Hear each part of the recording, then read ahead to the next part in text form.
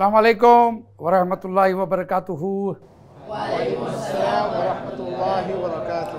तीन फोर्टीन्स इसमें आपका इस्तकबाल and I hope you are enjoying growing up with Islam आज का टॉपिक है द हैबिट्स ऑफ़ रीडिंग किताबें पढ़ने का शौक़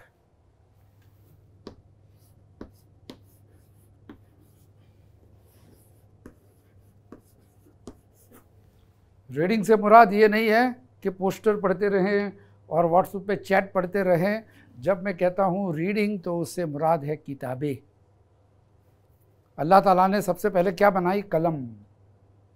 The first thing Allah created was the pen और कहा पेन के क्या लिखूँ? अल्लाह ने कहा, जो क़यामत तक होगा सब लिख।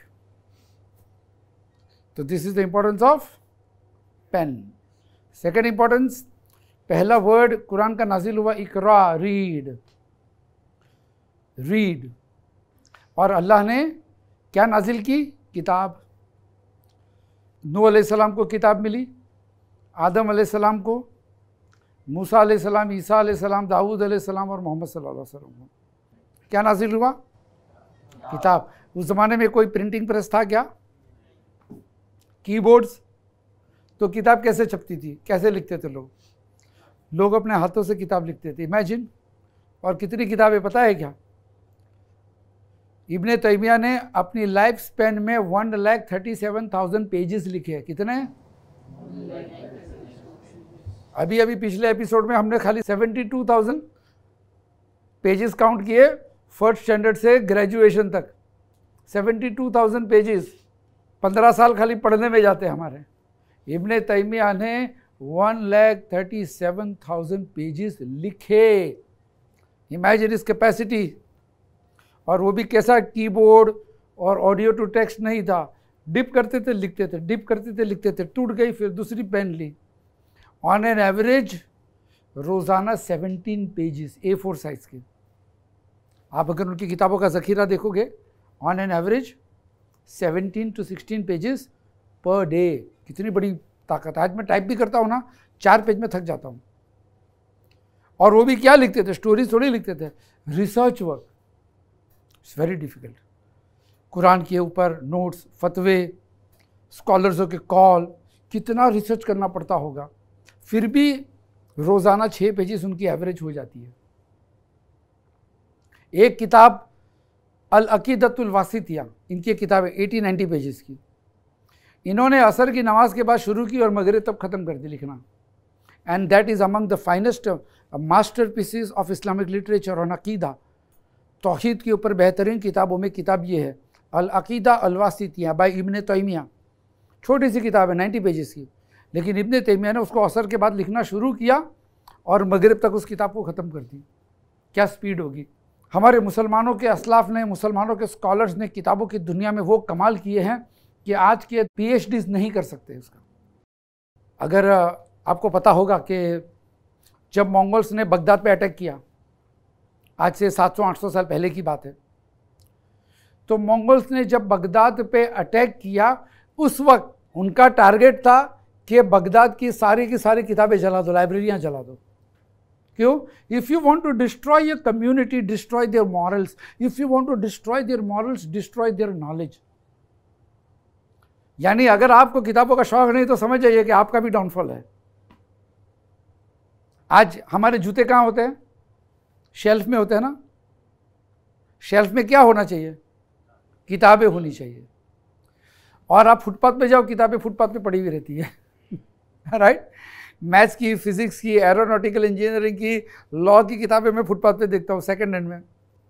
और सामने जूते की दुकान है, जूते शेल्फ में है। जब किसी कौम का ये हाल हो कि वो उसका गिरना मुमकिन है, तैयारी है वक्त आ चुका है तो उसके लोग किताबों की बेइज्जती करेंगे और जूतों की इज़्ज़त करेंगे। राइट और रॉन्ग सही है ना? आप लोग देखते होंगे ये सब चीज़ें।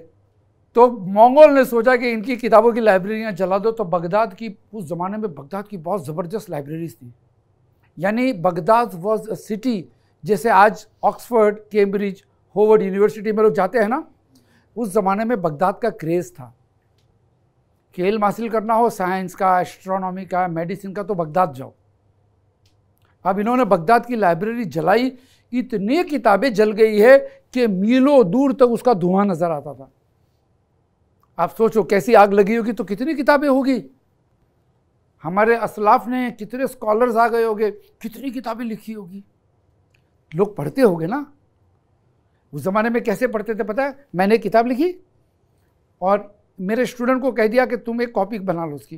तुम बना लो, तुम बना लो, तुम बना लो, सबने एक कॉपी बना ली। अलग अलग लाइब्रेरी में रख लेते थे। जिसको पढ़ना लाइब्रेरी में जाके पढ़ के फिर रख के फिर घर पे चले जावे।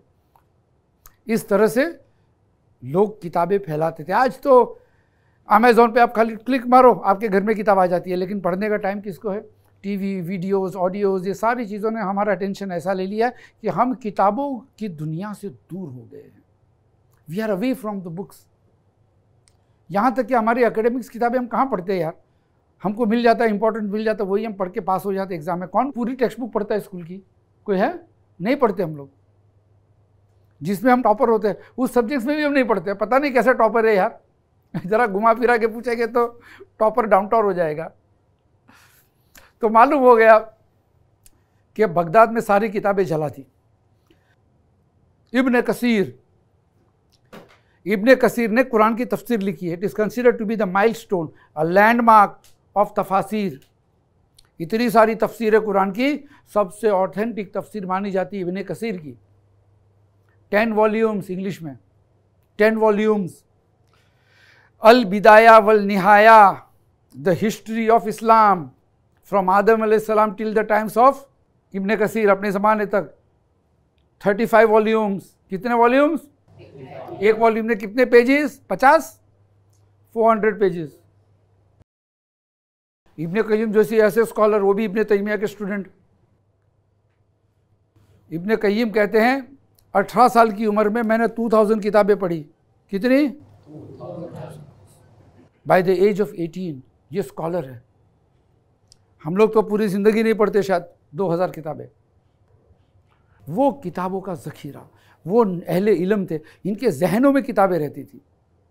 आज हमारे शेल्फ में पड़ी रहती है, बहुत दिनों के बाद ऐसे ही पड़ी रहेगी छः महीने के बाद आएँगे, ऐसे ही पड़ी रहेगी, धूल साफ़ करेंगे हर ईद के दिन। मेहमान आने वाले हैं, किसी को तौफीक नहीं होती है खोल के पढ़ के कभी देखे भी। हमारे एक दोस्त की बेटी की शादी थी। Middle class not very rich हमारे तुम्हारे जैसे। कहती है कि, डैडी, मुझे एक तोला सोना कम देना। यानी पच्चीस हज़ार रुपया शायद उस ज़माने में रेट होगा तोले का पच्चीस हज़ार रुपये की मुझे इस्लामिक किताब खरीद के देना। क्यों? मैं किताबें ले जाऊँगी अपने साथ ताकि मेरे बच्चे मेरे बच्चों के बच्चों में दीन ज़िंदा रहेगा। Look at the spirit look at enthusiasm Eid में जूते कितने के खरीदते आप लोग? दो हज़ार? अठारह सौ। अठारह सौ के जूते कितने के जीन्स आते हैं भाई? हज़ार। हज़ार। माइक पे बात करेंगे आप? ताकि मुझे भी पता चले। One thousand. वन थाउज़ेंड की जीन्स शूज़ कितने की? Eighteen hundred. एटीन हंड्रेड फिर इतर भी लगाते हैं। सॉक्स खरीदते हैं बनियान खरीदते हैं सारी चीज़ें खरीदते हैं। यानी ईद में हमारे एक आदमी के ऊपर हम चार हज़ार खर्चा करते हैं। पूरे साल में चार हज़ार की किताब खरीदते हैं क्या? अगर घर में शादी होती है कि घर का हर इफराद एक एक जोड़ी कपड़ा सिलाता है दो दो तीन तीन जोड़ी सिलाता है और फॉर्मल ड्रेसेस पाँच हज़ार का ब्लेज़र, तीन हज़ार का ब्लेज़र, डेढ़ हज़ार का शर्ट, सही कि नहीं? यानी ऊपर से नीचे बेल्ट, शूज़, सॉक्स, सारी चीज़ें ब्रांडेड होती है। लेकिन साल भर में पाँच हज़ार रुपये की किताबें खरीदते क्या? नहीं खरीदती यार।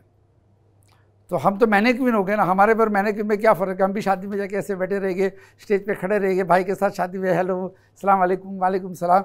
Way what's the difference between you and a mannequin आप में और मैनेक्विन में फ़र्क क्या है? वो भी ऐसे बैठा है, आप भी ऐसे बैठे आप खाली ऐसे बैठे व्हाट्सएप पे, बस ये पोजीशन है। मेट्रो ट्रेन में देखो लोकल ट्रेन में देखो, शादियों में देखो, लोग खाली। मैनेक्विन भी ऐसे ही रहता है। तो हम लोग मैनेक्विन बन गए। किताबें ही नहीं पढ़ते हमारा माइंड भी एकदम स्टेल हो गया। स्टेगनेंट समझते हैं ना? एक जगह पे अगर पानी पड़ा रहता है ना तो मच्छर आते हैं, गंदा हो जाता है। वही पानी जब बहता है तो वो पानी साफ़ हो जाता है। तो नॉलेज भी वैसे होता है। If you keep on reading add knowledge pass on the knowledge to others तो आपका माइंड अच्छा हो जाता है। Your life increase and life improve लेकिन बड़े अफसोस की बात है कि हम किताबों की वैल्यू नहीं करते हैं। जब मैं राइटर बनने की ट्रेनिंग हासिल कर रहा था ना, मेरा एडिटर था, मैं उसके घर पे गया पहली बार। इतना बड़ा हॉल था उसका, इतना बड़ा। हॉल में दीवार नज़र नहीं आ रही है, खाली किताबें शेल्फ। और वो भी ये पचास सौ रुपये वाली किताब नहीं थी उसके पास। 1970s में वो आदमी फॉरेन की किताबें खरीदता था, तभी अमेज़ोन नहीं था। एक महीने पहले ऑर्डर देना पड़ता था, एक किताब का। जब उसकी सैलरी आती थी, आधी सैलरियों की किताब खरीदता। मैं बोला, यार, क्या कांति साहब, क्यों आप इतनी किताब खरीदते तो कहते हैं कि निसार, ये किताबों के ज़रिए मुझे रोज़ी मिलती है। और उसके जो आर्टिकल्स वो इतनी किताबें पढ़ता था कि उसके जो आर्टिकल्स थे that made him the highest paid journalist in Gujarati media उस ज़माने में ही was the highest paid journalist क्योंकि दूसरे भी लिखते थे, वो भी लिखता उसके पास सरमाया है, उसके पास ट्रेजर है कहाँ से लेने का। He could write cover stories in three hours अस्सी साल की उम्र में उसको एडिटर ने गाड़ी दी ड्राइवर दिया और महीने का पैसा मिलता था। अस्सी साल की उम्र में भी आदमी लिखता था। हालाँकि टीबी का पेशेंट था, लेकिन लिखता था। क्योंकि उसके पास किताबें थी। उसके घर में जगह नहीं थी। उसकी बीवी कहती है, निसार, मेरे शोहर की सारी किताबें अगर मैं बेच दूँ ना तो एक पूरा अपार्टमेंट खरीद सकते हो बम्बई में। आप सोचो कितने लाखों रुपए की किताबों की अपार्टमेंट कितने का आता बम्बई में। If I sell off all the books और वैल्यू देम एक अपार्टमेंट यानी सत्तर अस्सी लाख की किताबें एक ही आदमी ने खरीदी एक आदमी के घर में सत्तर अस्सी लाख रुपए की किताबें हैं, दोस्त। हमारे घर पे, हमारे यहाँ तो इल्म की वैल्यू कितनी ज़बरदस्त है कि अल्लाह ताला कुरान में फरमाता है कि जो लोग जानते हैं और जो लोग नहीं जानते, क्या वो लोग बराबर हो सकते हैं? कह दो कि बराबर हो सकता है, जो आदमी जानता है और जो आदमी नहीं जानता है? हरगिज़ नहीं। हम लोग किताबों का शौक़ नहीं रखते, पता है ना? हम ज़्यादा से ज़्यादा स्पोर्ट्स के न्यूज़ पढ़ते हैं। पेज थ्री में फ़िल्म स्टार्स कौन मर गया, कौन किसके साथ भाग गया, किसका डिवोर्स हो गया, ये न्यूज़ हमारे रहते हैं यार। करंट इवेंट्स पढ़ते हैं। नॉलेज की किताबें कौन पढ़ता है? आज अमेरिका में वैल्यू क्यों है? नॉलेजेबल पर्सन की। अमेरिका नॉलेज एक्सपोर्ट करता है आज। आप अमेरिका से डिग्री लेकर आओ, कहीं पे भी चले जाओ, आपकी सैलरी दूसरी यूनिवर्सिटी से ज़्यादा होगी। ही इज़ एक्सपोर्टिंग नॉलेज वहाँ पे नॉलेज की अहमियत है। हमारे यहाँ तो नॉलेज की अहमियत ही नहीं है। कल बताया ना मैंने कि हमारे वहाँ रेस्टोरेंट की अहमियत है। फलाना रेस्टोरेंट डिमकी बिरयानी, हैदराबादी बिरयानी, कश्मीरी पुलाव, हमारे वहाँ तो इन सब चीज़ों की वैल्यू है भाई। मोटरसाइकिलों की वैल्यू हम पहले मोटरसाइकिल खरीदते मोबाइल खरीदते बाद में किताब किताब तो खरीदते नहीं बेचारी को। जब भी कोई आदमी मर जाता है सबसे पहले उसकी किताबें लाइब्रेरी में पहुँचा दी जाती है। उसके घर वाले कभी सोचते भी नहीं कि किताबें हमारे घर पे रखे, हमारे बच्चे पढ़ेंगे। रिलीजियस किताबें मस्जिदों में भेज दो लाइब्रेरियों में भेज दो, क्यों भाई आप लोग नहीं पढ़ेंगे? किसको शौक है यार? वो आदमी ने किताब इसलिए खरीदी कि उसके अहलो हयाल पढ़े मरने के बाद सवाब जारिया हो, लेकिन वैल्यू नहीं है हमको किताबों की। वी डोंट वैल्यू बुक्स तो मैं कह रहा था कि उस ज़माने में लोग मुसलमानों के शहरों में, मुसलमानों के मुल्क में इल्म सीखने जाते थे। आज अगर हम मुसलमानों के मुल्क में जाते हैं तो लाहौर की बिरयानी, हैदराबाद की बिरयानी, कश्मीरी पुलाव, आप जमा मस्जिद में जाओ तो ये खाओ। We are known by our food items we are not known by our books कि भाई मुस्लिम मोहल्ले में जाओ, मुसलमानों की लाइब्रेरी में जाओ, ये किताब लेकर आओ, वो किताब लेकर आओ। क्योंकि हमने बहुत सारी किताबों को छोड़ दिया वैसे ही। शेख आसिम अल हकीम वगैरह कहते हैं, अभी भी दो लाख किताबें ऐसी है जो अभी तक पब्लिश नहीं हुई है। खाली हाथों से लिखी हुई म्यूज़ियम में है। टू लैख बुक्स कितना बड़ा ख़जाना है। और कितनी किताबें तो बगदाद में जल भी गई होगी। But imagine the amount of knowledge Allah gives किसी के पास नहीं था ऐसा। तो अब सवाल ये होता है कि भैया ये जो स्कॉलर्स आए, ये कैसे आए? कौन सी किताबें पढ़ के आए? कौन से यूनिवर्सिटीज़ में गए? ये इंपॉर्टेंट है। और अगर हमको भी शौक है तो हम कैसे हासिल कर सकते हैं? ये नॉलेज सबसे पहले मेन सोर्स है कुरान। जितने भी स्कॉलर्स आए मुसलमानों की जमातों में बड़े बड़े स्कॉलर्स सब लोगों ने सबसे पहले कुरान पढ़ा, कुरान सीखा, कुरान हिफ्स किया और कुरान के मुतालिक तफसीरें पढ़ी और हदीज़ें पढ़ी। जो कुरान और सुन्नत का इल्म रखता है, वो अहले इल्म एक्चुअली है। वरना अहले ओपिनियन आपको मिल जाएँगे। दे वो lot of opinion on current events ऐसा पैलेस्टाइन में ये करना चाहिए सीरिया में ये करना चाहिए तालिबान का ये होना चाहिए। बड़े बड़े एक्सपर्ट बन जाते, किताबें तो पढ़ते भी नहीं सब मुफ्ती बन के बैठ जाते हैं। If you want to be good scholar if you want to gain real knowledge आप कुरान पढ़िए अरबिक में पढ़िए, तर्जुमा पढ़िए, अपनी मादरी ज़बान में तर्जुमा पढ़िए। अब तो तफसीर भी आ चुकी है। ऑथेंटिक तफसीर पढ़िए आपकी ज़िंदगी में एक ज़बरदस्त पॉजिटिव तब्दीली आ जाएगी। Your character will differ people will start finding you interesting लोगों की आपकी बातों में मज़ा आएगा। आपके बिहेवियर देखकर लोग अपने बच्चों को बोलेंगे, बेटा, इसके साथ दोस्ती रख, इसके साथ घूम। टीचर्स भी आपकी इज़्ज़त करेंगे। Books gives knowledge and knowledge gives honour and the most knowledgeable and honourable book is the Quran no other book can match ये जितनी किताबें मुस्लिम लाइब्रेरियों में है ना, ये सारी किताबें कुरान में से लिखी गई है ना, बेस क्या है इनका? कुरान है। तो कुरान का खुद का नॉलेज कैसा है? देखो आप look at the source and look at the treasure Allah has put in his own book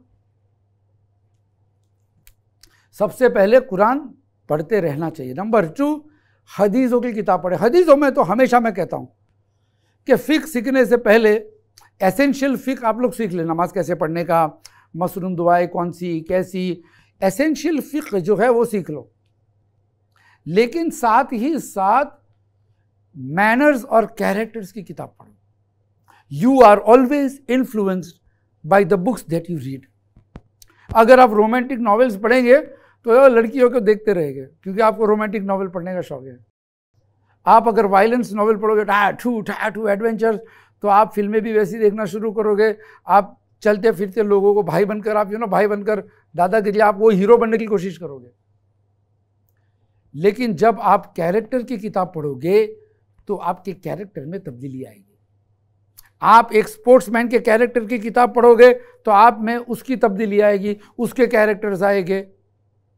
आप अल्लाह के रसूल सल्लल्लाहु अलैहि वसल्लम की कैरेक्टर की किताब पढ़ोगे तो आप में वो कैरेक्टर्स आएँगे। मिसाल के तौर पे रियादुस्सालिहीन the garden of good deeds रियादुस्सालिहीन रियाद का मतलब होता है गार्डन रियादुस्सालिहीन दो जिल्द में आती है दो वॉल्यूम से आप उसे पढ़िए उसमें कुरान की आयत एक टॉपिक के ऊपर उसी टॉपिक के ऊपर हदीस lovely book amazing book no quotation of scholars at all no opinions of anybody Kaul अल्लाह कौला रसूल अल्लाह ने कहा रसूल ने कहा अल्लाह ने कहा रसूल ने कहा आप जैसे किताब पढ़ते जाओगे, अमल करते जाओगे, आप नोटिस करोगे कि आपकी पर्सनालिटी चेंज होगी आप तो बाद में नोटिस करोगे, पहले आपके आजू बाजू वाले बोलेंगे this man has change people will start loving you people will start respecting you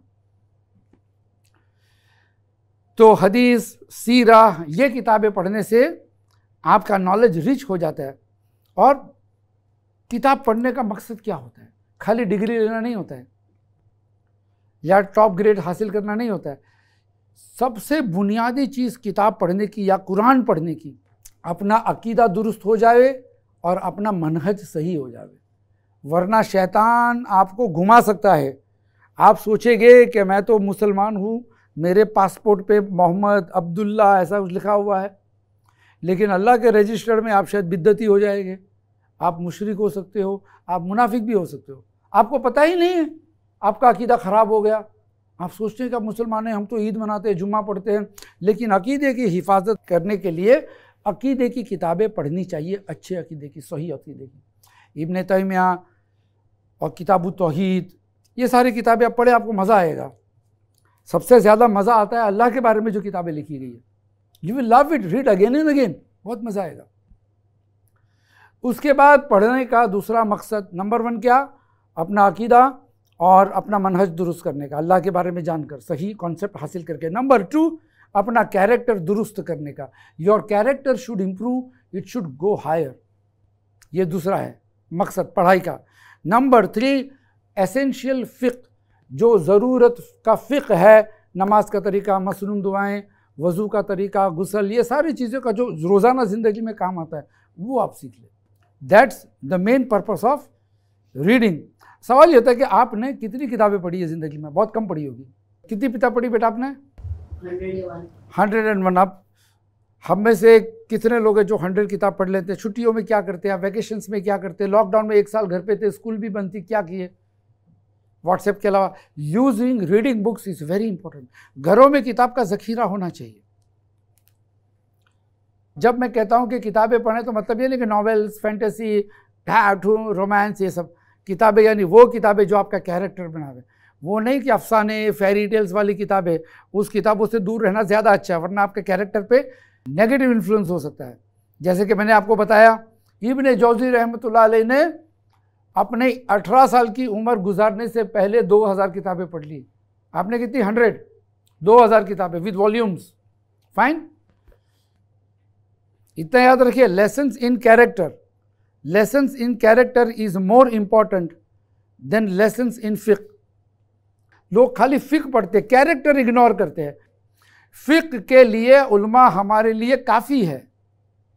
लेकिन कैरेक्टर की स्टडीज़ हर बच्चे को कंपलसरी है कि कैरेक्टर होना चाहिए।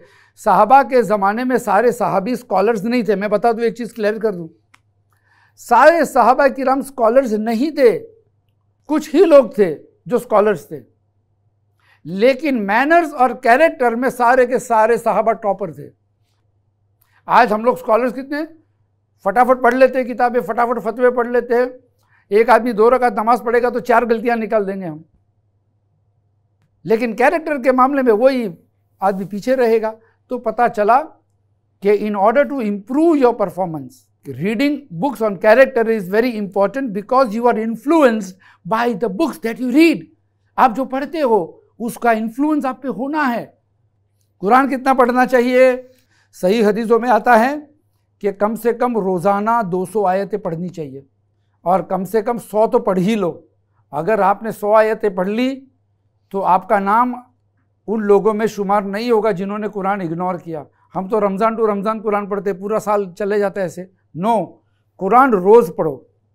The more you read Quran the more dignified personality you will be तो बस रीडिंग के मुतालिक यहाँ बात हमारी ख़त्म होती है। इस दुआ के साथ कि अल्लाह ताला हमें इल्म, नाफिया नसीब करे और जो कहा सुना उस पर अमल करने की तोफ़ी अता करे। आई विल लुक फॉरवर्ड आप लोगों के लिए मैं इंतज़ार करूँगा कि आगे चलकर मुझे ख़बर मिलती रहे। कि आप लोगों ने इल्मी मैदान में बड़े बड़े कारनामे किए। अल्लाह आपको इसकी तोफ़ी अता करे। नाजरीन, आपको भी अगर ये प्रोग्राम पसंद आया, बातचीत थोड़ी सी दीन फोर्टीन्स तो आप हमारे चैनल को सब्सक्राइब करना भूलिएगा मत। तब तक के लिए असलकम वरहमल वर्का अल्हम्दुलिल्लाह। इस एपिसोड को बनाने में हमारे एक दीनी भाई ने पूरा ताउन किया है। अल्लाह इसे उनके और उनकी पूरी फैमिली के लिए सदक़े जारिया बनाए। आमीन। आप भी ऐसे वीडियो या सीरीज़ को स्पॉन्सर करने के लिए कॉल करें। Nine five double eight double eight double eight two six पर। ऐसे ही और वीडियोस बनाने में हमारी मदद करें।